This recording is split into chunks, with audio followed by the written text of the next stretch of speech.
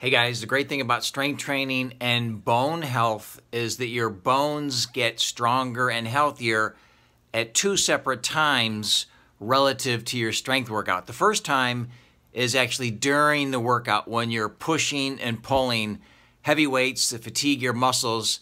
That loading of the muscles actually stimulates the bone building cells in your skeleton called osteoblasts. Those cells function to build new bone tissue.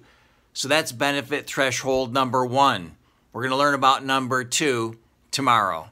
This is day 1189 of Train Like a Champion.